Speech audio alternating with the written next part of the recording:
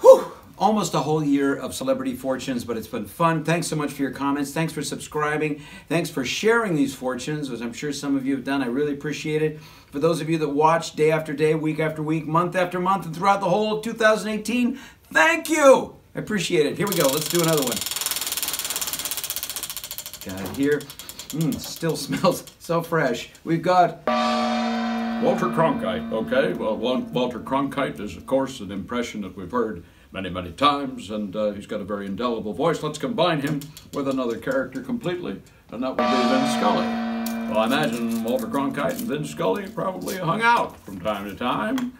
I don't imagine that uh, announcers don't run into each other uh, occasionally and get to share a, a, a, single malt scotch. Let's see here. Uh, good timber does not grow with ease. The stronger the wind, the stronger the trees. Good timber does not grow with ease. The stronger the wind, the stronger the trees. Who knows? I'm not an arborist, and I know that uh, if the wind is too strong, it can knock over a tree. Well, uh, but that seems immaterial. The point is, we all have to deal with life and uh, meet the challenges head on. And to the degree that we do, we can succeed. Thanks for watching. I'll see you tomorrow on Celebrity Fortune Cookie.